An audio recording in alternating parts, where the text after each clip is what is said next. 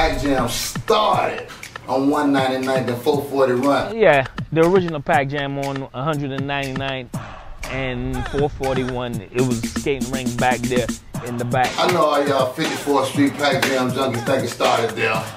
No, it started at the skate ring. We used to skate first, we in a little circle, then they had the players in the, in the center. The ones who ain't want to skate, we were jumping to the music, and then by 11 o'clock, all that shut down, and that thing became the Pac Jam. That place was phenomenal and uh, legendary. And, you know, just the speakers, the energy, and the vibe, and the music, and just what the Pac Jam had, had brought to the music scene down here. Pac Jam was a place everybody go at to meet women and read guys and everything.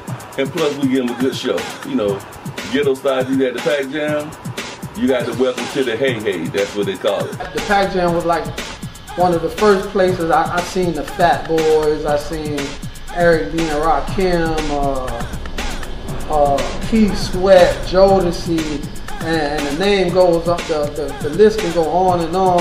Vibe was live. You go in there, you see bitches popping pussy all over the place. The bass was hitting. The DJs were live. Pac Jam, is a- that, that's like a Dade County thing that you ain't gonna never forget.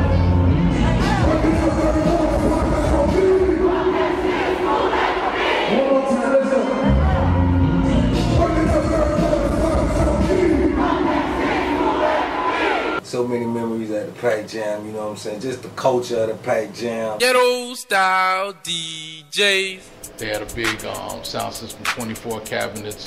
They always had more bass speakers than they had, you know, mid-range or, or, or tweeter speakers. So they called it ghetto bass because it was kind of, in a sense, it was kind of, it wasn't no janky operation. It was, it was a great sound system, but you heard more bass than you heard mids and highs. Riding them all the green down speakers going around, around the wall. The DJs packed the jam and they jammed the pack. When I talk about ghetto style DJs, you had Lil Hob, you had G.I. Joe, Baby Sid, Madal Cisco. But Chico, Chico did his thing. Much respect. It was amazing Chico and then G.I. Joe. Of course, you had Luke. And uh, those were the main three. Uh, my favorite out of the ghetto style DJs was uh, Amazing Chico. I liked I liked his voice. I liked his energy. Luke was cool, but I always thought Chico was better uh, than all of me. My personal favorite. Lil Hop, Baby Sad, Chico. When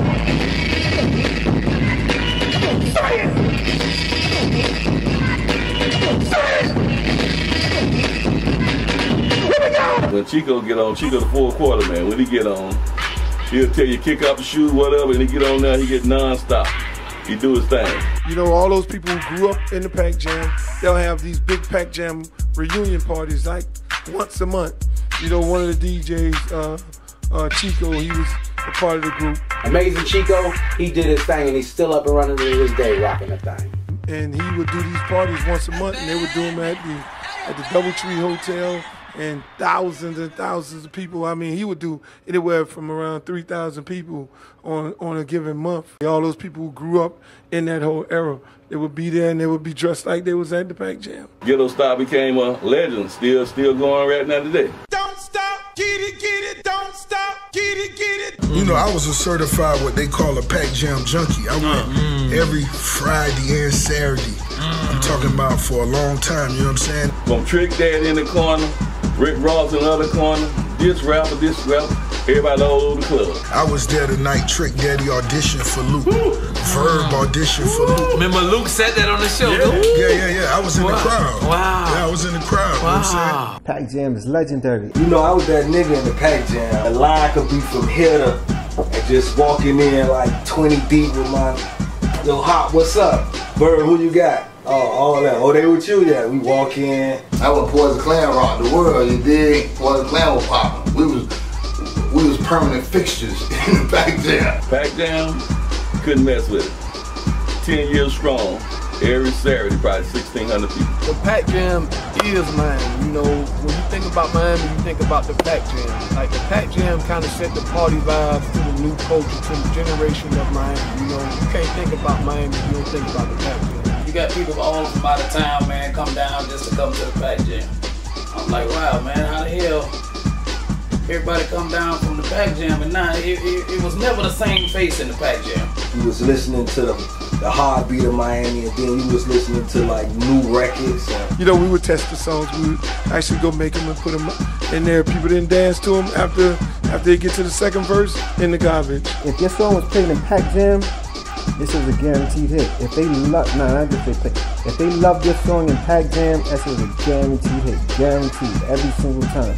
Every single time. I wanna rock Luke's song. I wanna rock. I wanna. That shit started in Pac Jam. I actually, before I put the lyrics on the song, that song, I had played the, the song was in the in the teen disco for at least six or eight months, maybe longer, before I actually put my vocals on top of the song. That shit was a monster in Pac Jam.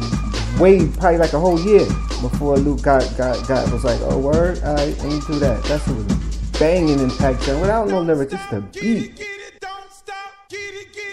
You know, Pac Jam broke a lot of people music from different areas.